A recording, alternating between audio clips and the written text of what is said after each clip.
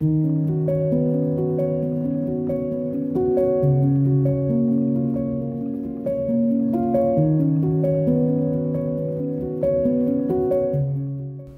everyone, Ailisha here, and welcome to another video.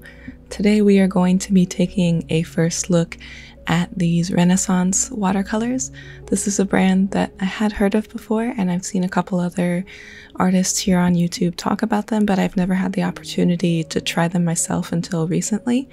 These were sent to me from April, who has an Etsy shop. We'll talk more about that sort of special situation very soon. But first, I want to just show you the colors that I have, and I did get a small palette to set them up in. So, my plan here was, as usual, to take the paints in the tubes, put them in a palette, and allow them to dry over the weekend. So I did this initial portion here on a Friday and then came back to actually test the paints on the following Monday as working from paints fresh out of the tube is different generally from working with them when they are dry. And this is always one of my favorite parts in videos like this to get to film and share with you.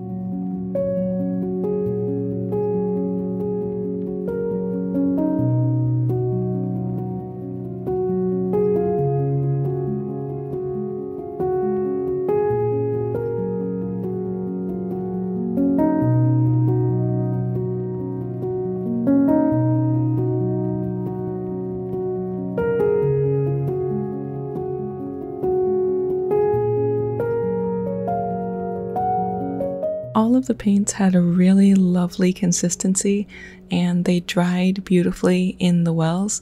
And for the most part, with a couple exceptions that we will talk about, the colors reactivated really nicely. And they also had a really nice flow to them, meaning that the colors, when laid down, the pigment spread throughout the wash really beautifully and a bit more evenly. So if I was to compare them to other brands, I would say like White Nights is a brand where things are a bit more stationary and a bit more heavy and the color doesn't flow as much through a single wash. And then a brand like QoR is on the other side of that, where the color reacts a bit more like ink and just spreads a ton. I would say that these paints are in between those two as far as the flow and spread of the pigment across like a single wash. Two colors that initially gave me quite a bit of trouble were the raw umber, which you just saw me swatch there. It was very light. This brown madder was beautiful. I love this color so much. And then my Payne's gray, which as you can see here, the Renesans is a mix of four pigments. Both of these two my color in the wells dried and it was very gummy and I had a lot of trouble getting much color out of them.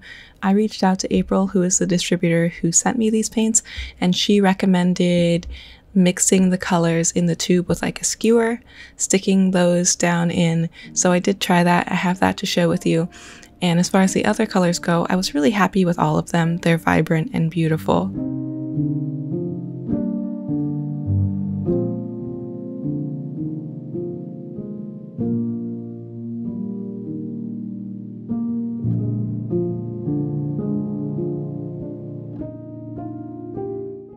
So here is the comparison. The number one swatches are before I like mixed the paints inside the tube with a skewer with a long pokey thing. There was some improvement in the raw umber. April did tell me that this color is generally a little bit better. Mixing it did help a bit, still kind of light. And the Payne's Gray, there was a massive amount of improvement in that color. So if you do run into an issue like this with this color or similar ones, I can say that it does help to mix them up. It's a little bit of a messy process and it's hard to recover all of that paint when you're digging a skewer down into the tube. And ultimately with these colors, that step was worth it.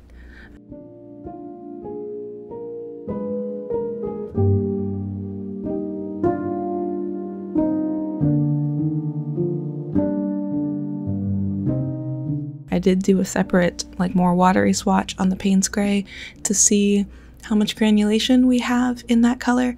Which is another interesting thing that I want to talk about. I know that Payne's Gray is a favorite for a lot of people, and this color does have PB29, which is ultramarine, a common granulating color, and it reacts differently from other Payne's Grays.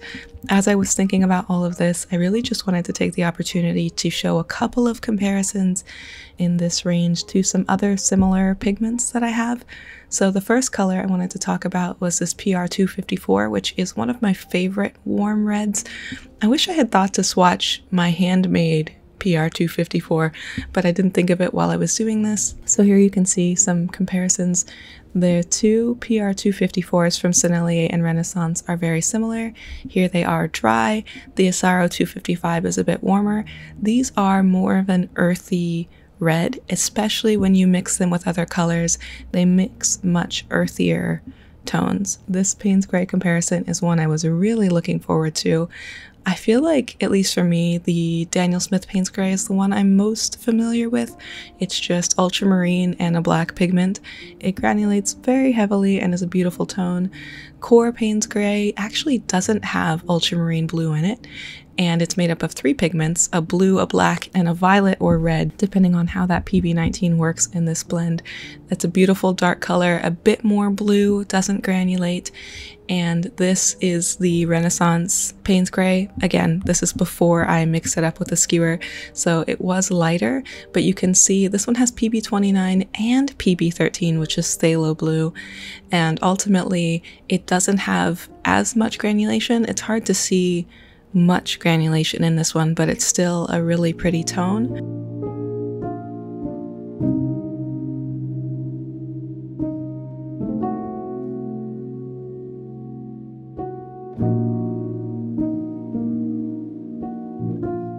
For the raw umber, I have Sennelier's raw umber, which as you can see when I squeezed it out of the tube, there was some extra gum arabic there, but still a really nice, beautiful, warm blue. And with this uh, Renesans Raw Umber, this is before I had skewered it and mixed it up, so it was lighter. I did have a bit more trouble getting a bunch of color out of it, but you can see that this is a bit of a cooler brown, not quite as warm. Still relatively a pretty shade. The lighter tone in the raw umber I found made it difficult for mixing just because I had to use so much more of it. But I think that if I had chosen a different brown, I did select these colors from April's Etsy shop. If I had chosen like a burnt umber or a burnt sienna, and maybe like an indigo instead of Payne's Gray, my first impressions could have been a bit different just by switching up a couple of colors. So far, those have mostly just been things to note up to this point and ways that these paints may vary from others. So let's talk a little bit more about these paints and about how I got them. Renesans watercolors are made in Poland, and if you've seen other artists on YouTube talk about this brand, then you might know that you actually, for the most part, can't really get these paints in the United States. Like you're not going to go on uh, Blick Art Supplies and you know just purchase tubes or pans of these April has an Etsy shop called A Little Creative, and she is the US distributor for these paints, which I think is really interesting. She was able to reach out to them and inquire about being the US distributor, and now she does that. I think that that is a really cool arrangement. So now people in the United States can try these as well. Overall, I did really enjoy working with these watercolors.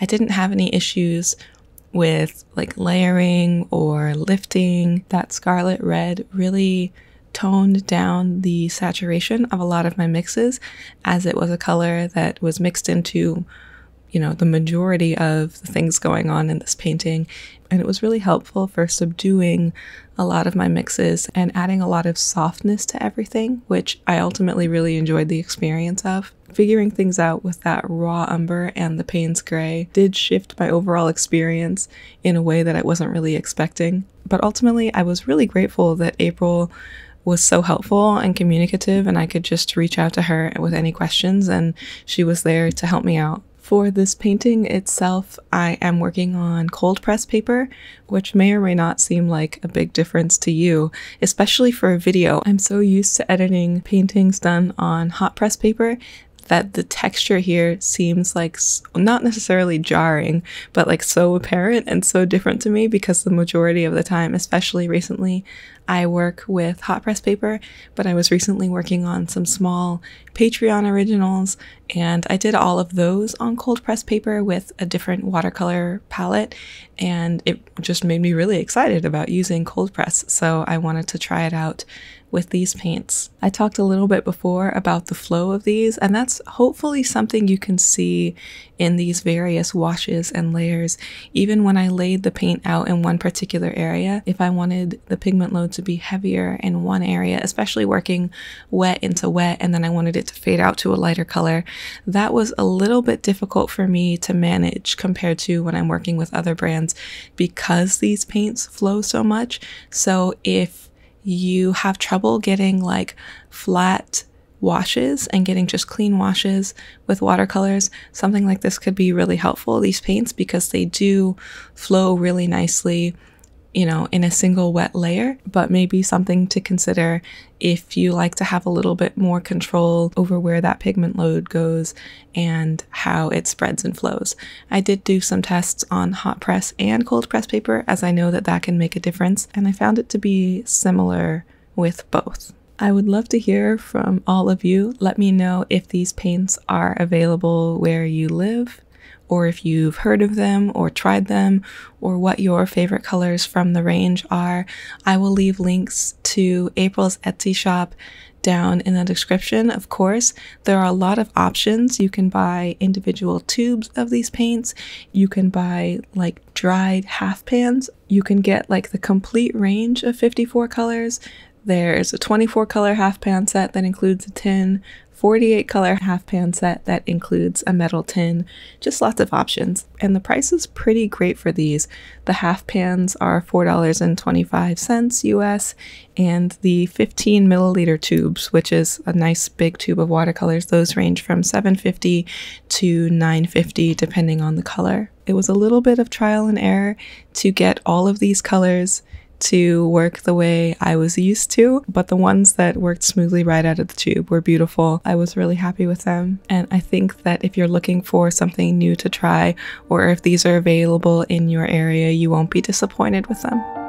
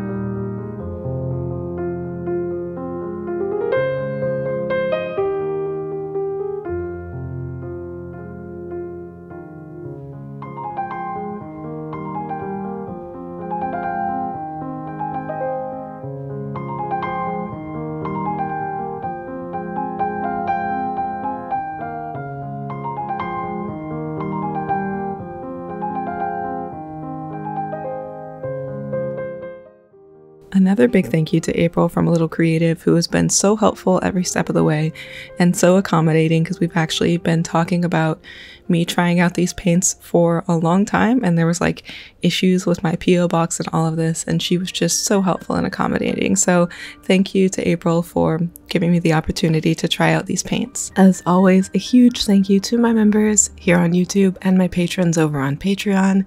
It's a brand new month. February is just starting, so we'll have a new round of digital downloads and real-time Q&As, all sorts of fun things over there. So you're welcome to check out either of those platforms if you'd like to support me and this channel further. You can find this original painting for sale on my website, and there will be prints available as well.